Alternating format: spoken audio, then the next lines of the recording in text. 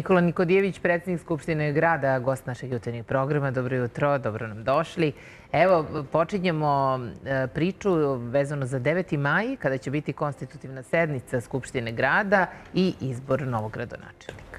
Pa svaku emisiju počinjemo sa 9. majem, s obzirom da je to u ovom trenutku e, najznačajniji datum kada je u pitanju Skupština grada Beograda. Naravno, mi smo poštujući zakonske rokove posle održanih izbora zakazali sednicu za 9. maj kada će biti konstituisan novi gradski e, parlament. Konstitutivna sednica ne podrazumeva izbor gradonačelnika, podrazumeva pre svega izbor predsjednika Skupštine, zamenika, sekretara Skupštine i nove izborne komisije koja mora biti usklađena sa novim sastavom odborničkih grupa. Ali naravno, od tog trenutka teče rok za izbor e, gradonačelnika koji je 30 dana od dana konstituisanja gradskog parlamenta.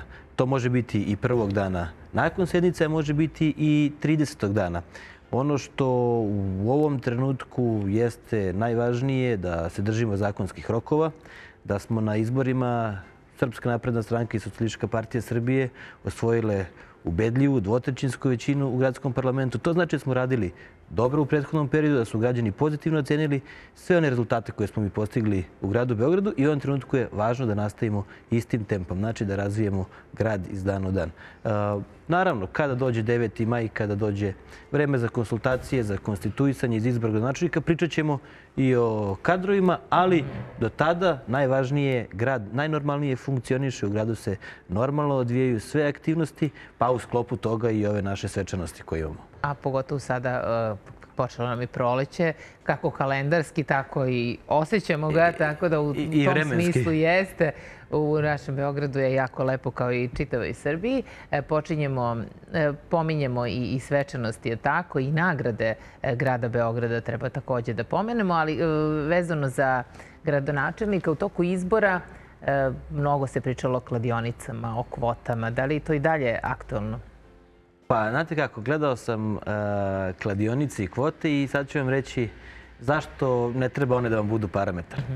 Našao sam na kladionicama da imate kvote čak i one koji nisu kandidati. Uh, zakon kaže da se gradonačelnik bira iz redova odbornika, što znači da mora biti jedan od 110 odbornika Skupštine grada Beograda. Na kladionici smo se pominjala imena koji se čak nisu kandidovali na jednoj listi. To vam samo govori koliko kladionice umeju da budu neprecizni i koliko ljudi ne poznaju uh, zakonsku proceduru. Ne treba se obazirati na, na, na kladionice, na, na špekulacije. Uh, ono što je zasigurno i na listi Srpske napredne stranke i Socialističke partije Srbije pregršt sjajnih imena, dokazanih ljudi, uspešnih ljudi u svojim oblastima, e, veliki broj ljudi koji su radili u prethodnom datu, koji su postigli izuzetne rezultate, kogod da bude i na čelu gradskog parlamenta i na čelu grada, verujem da ćemo nastaviti da razvijemo Beograd kao što smo to činili prethodne četiri godine i to je ono što je najvažnije za Beograđane. Personalno to u ovom trenutku nije važno. Da pomenemo i svečanu sednicu Skupštine i nagrade grada Beograda. 16. i 19. april je tradicionalno su dani Beograda. 16. april zato što je se prvi put u dopisu Pape Jovana VIII pominje 1878. godine grad Beograd, kao i 19. april 1867. godine kada je knjez Mihajlo dobio ključeve grada Beograda. I onda su to dva mhm. značajna datuma koje smo spojili u dane Beograda koji se već tradicionalno obeležavaju kod nas. I sad ima pregršt manifestacija koje su interesantne e, od najmlađih sugrađana do naših turista, do najstarijih sugrađana. Veliki broj e, kulturnih ustanova otvara svoja vrata, institucija grada Beograda, veliki broj izložbi na otvorenom e, koncerata, e, događaje, manifestacije, dešavanje u ta četiri dana spojimo. I ove godine je zaista bogat program koji će biti e, ponuđen Beograđanima, pošto toliko mnogo manifestacija ima da ne mogu sve da vam popamtim satnice i mesti događaja. Ja sam vama doneo jednu našu brošuru. Dajte malo da ja to. Jednu našu brošuru da imate, da vidite mhm. kakva su dešavanja za ove dane Beograda 2018. godine, a ono što u sklopu dana Beograda svakako, svakako sledi jeste svečana sednica Skupštine na kojoj proglašavamo dobitnike nagrada grada Beograda za 2017. godinu i naravno 18.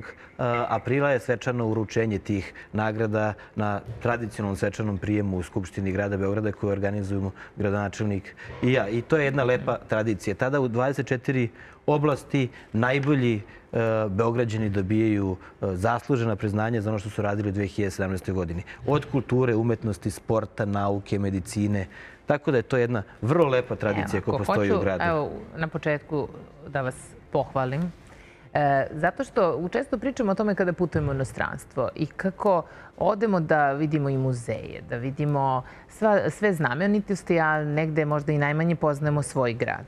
I evo prvo šta nam predlažete, to su javna vođenja. Da li ste znali ovo o Beogradu? Možda ćemo zaista saznati nešto o našem gradu, a, a da to do sada nismo znali. A, to, je, e, to, to je nešto što smo e, zaista i mi primetili. Uh mhm. -huh. veliki broj Beograđana ne zna kakve sve Beograd ima potencijale, mogućnosti i znamenitosti koje možete da vidite. I upravo ta javna vođenja a, treba da posluže Beograđanima da se u tim danima Beograda uključe u tu neku kulturnu aktivnost. Ja moram kažem, Beograd nije prepoznatljiv samo po svom noćnom životu i to je ono što, što, što nas često uvredi kad kažu Beograd prva asocijacija noćni život. Beograd ima puno istorije, puno znamenitosti koje treba, treba videti i e, kažem vam, e, završili smo Muzej savremene umetnosti prošle godine. Vrlo brzo, evo sada ide otvaranje e, Narodnog muzeja. Radit ćemo i Muzej grada Beograda u Resavskoj ulici i zaista Beograd će obogatiti svoju ponudu kada je kultura u pitanju i mislim da treba da se dičimo sa tim, a ne da stavljamo u drugi plan. Ima puno istorijskih mesta, ima puno znamenitosti upravo to služi Beograđima da se upoznaju bolje sa svojim gradom. Biće tu i književni matine, muzikom i pesmama o Beogradu. Izložbe, koncerti. Sve pod naslovom Beogradski vremeplov. Zaista ćemo uživati od 16. do 19. aprila. Pretpostavljam da svi mogu da dođu i na sajtu do ovakvih brošura, da se upute. Na sajtu grada postoji uh, detaljno uh, opisan i vreme i mesto događaja i način na koji ljudi mogu da se uh, prijave. Ja sam to malo uprostio vama da imate pokažete gledalcima, ali naravno na sajtu grada Beograda sve ima. Sjajno.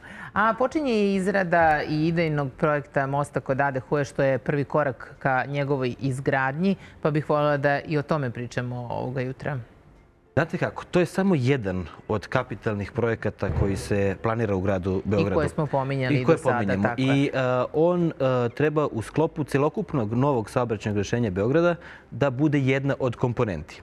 Uh, novi most preko Ade Huje je apsolutno potreban s obzirom na činjenicu da je obilaznica oko Beograda ide sa leve strane Dunava, da Pančevački most nema dovoljno, nema dovoljni kapacitet, da ćemo da radimo tunel od uh, Savske do Dunavske terase, to je podrazumeva tunel od Ekonomskog fakulteta do 29.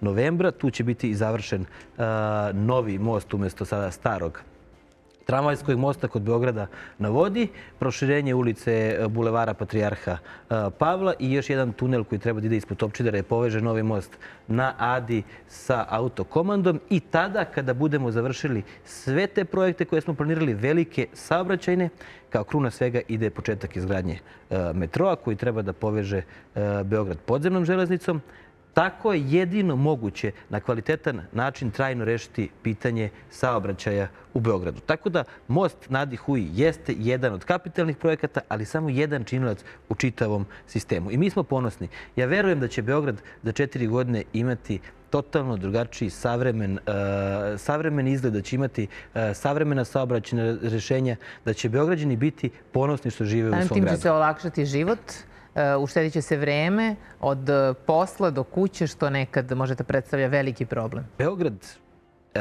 kada je građen i kada su rađene arhitektonske rešenje pre mnogo stotina godina, nije koncipiran da izdrži ovaj, ovu količinu i stanovnika, i saobraćaja, i potreba ljudi u 21. veku.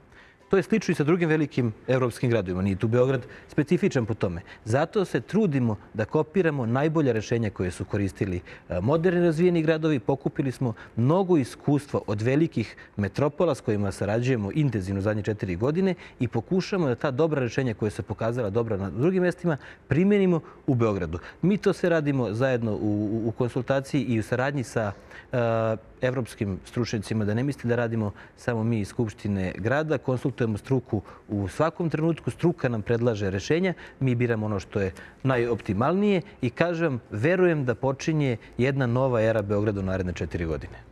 E, hvala najljepše na gostovanju. Evo ja volim našim dragim gledalcima još jednom da pomenem Dani Beograda 2018. od 16. do 19.